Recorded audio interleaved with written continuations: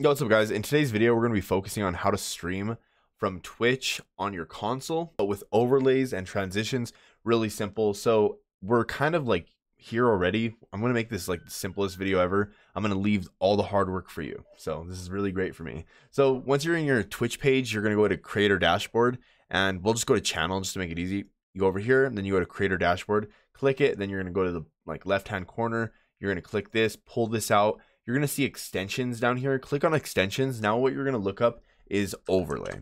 Now, now that you have overlay set up, you're going to go over here to overlay expert. Now, I already have it installed for you guys, so I could do it easy. But once you have it installed, you're going to press configure. Now, when you have a configure pulled up, you're going to see a pencil icon. Go ahead and pull that up. Now that you have this pulled up, it's so easy. Just go ahead and walk, do the walkthrough. It's going to teach you everything. It's going to teach you how to, you know, name the title of the overlay, put the description, put the game, um, what resolution. It's going to teach you all of this crazy stuff. But this is how you do it, guys. It's actually super fun when you get into it and you start learning more and more about it.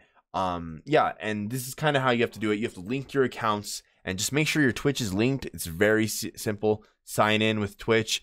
Bada bing, bada boom. Add a new layer. Um, background. We'll go to title. Um, we can name it. We could drag this.